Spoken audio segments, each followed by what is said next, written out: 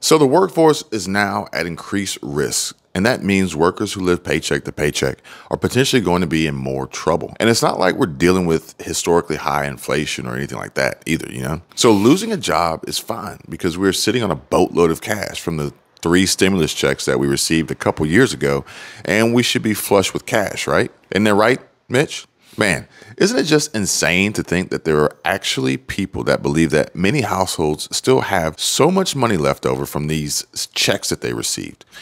What do you guys think? Do you think that millions of Americans' households still have leftover funds from previous government aid packages? Comment a quick yes or no in the comment section down below. And while you're down there, go ahead and hit that like button and subscribe to the channel if you haven't already. And so AMC stock shares have plummeted by more than 76% year to date. And the stock's short interest is on the rise, according to word on the street.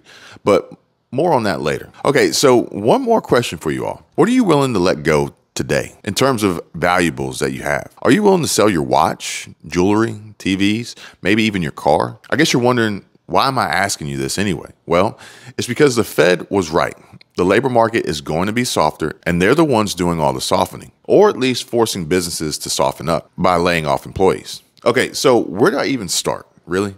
Have you guys heard of Stripe? That financial service company that provides processing for internet businesses. Sounds like a great idea. But even though many businesses have gone online and have transitioned to online payments, the company is still wanting to have 14% of their employees on the chopping block because they're preparing for a recession or the recession.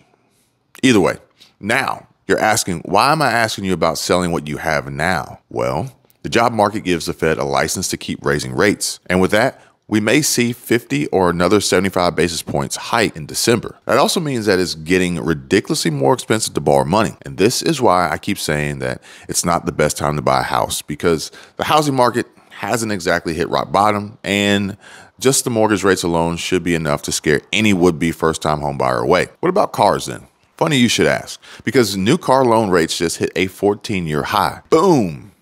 Mind blown. Jessica Caldwell, executive director of insights for Edmunds, said new vehicle inventory might finally be improving, but the automotive industry is still on a long road to recovery because rising interest rates are creating a major barrier to entry for car shoppers. And many consumers who have been sitting out of the market due to high prices and limited options will likely continue to do so over high interest rates. So, what about used cars? All right, well, those should be cheaper to finance, right? Wrong.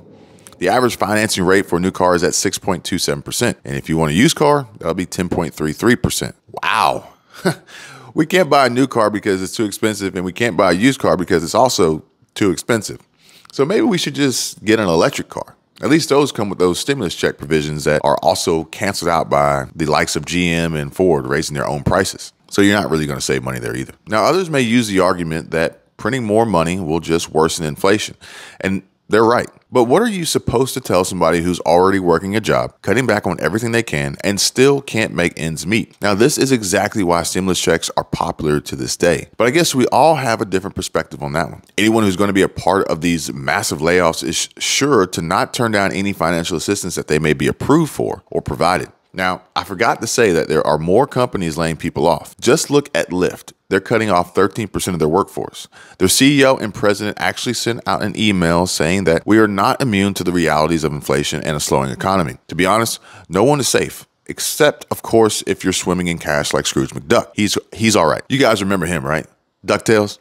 He had the right idea since he had boatloads of gold that guy would be safe in any economic downturn. It's not just these well known companies that are having these types of problems either.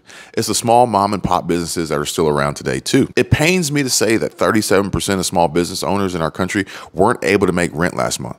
That's insane. And if they're not able to make rent, they're probably not going to be able to make payroll soon either. Now, were you guys aware that small businesses make up 99% of all businesses in our country? Think about how many jobs are going to be lost there, too. And how many are going to be struggling just to find affordable housing? Many are sure to just make do with whatever rental property they'll find uh, that they can still pay for. But it's going to be very difficult for many of us, and even more so for these small businesses. Now, back to them AMC stocks. Now, AMC stock shares have plummeted by more than 76% year to date, and the stock's short interest is on the rise, according to word on the street. Now, a lot of traders are shorting AMC stock right now, but The question is Will high borrow fee rates present a challenge for short sellers, thus eating into their profits? Or does that even matter with unusually high numbers of FTDs that could indicate that AMC's stock price might be headed back up? So far in 2022, short sellers have made an estimated $1.85 billion in profits by shorting AMC Entertainment stock, according to S3 Partners. And while shares of the movie theater company have fallen more than 76% year to date, this has driven up interest in AMC stock shorts. TheStreet.com wrote an article recently that the possibility of a short squeeze is still high, with currently about 19.6% of AMC's available shares currently being shorted, while short sellers ha are having to pay high borrow fees of 18% on average. But even though AMC stock short sellers are winning the battle against shareholders at the moment, their gains may be short lived, pun intended especially when you consider the current borrow fee rates for the stock. Confirmations of high demand from short sales put more pressure on short sellers to close their positions and take what profits they can in spite of AMC's high borrow fees. Now, again, I ask you guys, what are you willing to do now? I know a lot of you are looking on different ways on how to make money online. That's that's a really good start. But you're not going to get rich all of a sudden. But if you find something stable, work your butt off. If you have the time to do it today, do it. Don't wait for tomorrow. Don't wait for next week because then it may be too late. Do it right now because you're not supposed to buy an umbrella when the rain starts pouring. You should already have that in hand. And if you got questions and want to know more, contact me. My information's in the description, links down below. And uh, you guys are more than welcome to join the group where we discuss these things in great detail on a regular basis. You guys take care, be safe. I'll see you real soon. Bye.